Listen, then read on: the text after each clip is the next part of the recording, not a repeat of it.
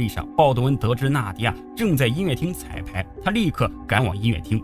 小楼里，奥德里奇等人当然是没有找到鲍德温，但是他们发现鲍德温确实来过，而且还找到了写有纳迪亚家庭地址的纸条。奥德里奇立刻反应过来，鲍德温也在找纳迪亚。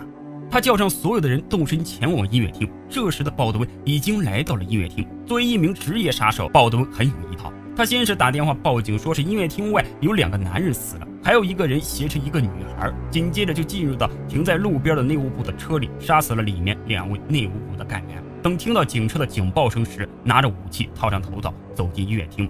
警察一到，就看到车里早已死透的内务部的人员，纷纷掏出武器冲进音乐厅。老霍还在酒吧里和纳迪亚闲聊着，警察们的突然闯入打乱了老霍和内务部同事的计划。警察带走了纳迪亚。当他们走出音乐厅时，鲍德温则偷偷地跟在他们的身后，然后找机会开枪打死警察。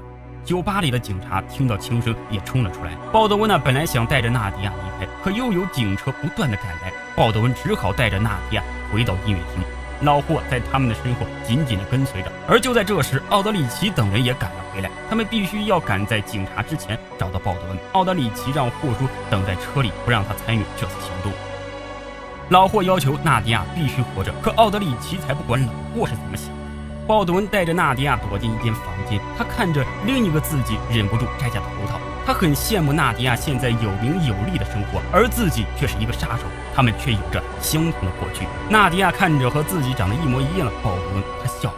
他认为鲍德温是上天派来惩罚他的恶魔。他们都是亲眼看着父亲死去的。纳迪亚是怎样走出去的呢？正在两人说话的时候，内务部的干员找到了他们。鲍德温跟他们交了火，而纳迪亚趁机逃了出去。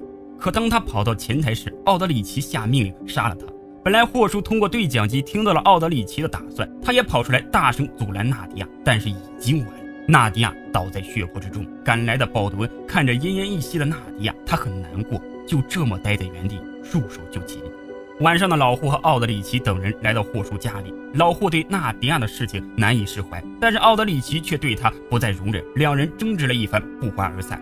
霍叔帮老霍安排好房间，老霍告诉霍叔，他还会让奎尔给他升职，但是老霍却不愿意过着间谍的生活，他是一个很容易满足的人。老霍真是错看了他。回到世界 B，还是那座教堂，艾米丽和普波见了面。其实艾米丽惹上了一些麻烦，她必须得知道老霍的行动。普波让他别插手，但是艾米丽执意如此。普波威胁他说：“听说有位内务部的探员有染上毒瘾的嫌疑。”就这样，艾米丽气愤地离开了教堂。那么，艾米丽究竟隐藏了什么秘密呢？老霍又该如何打开眼前的困局呢？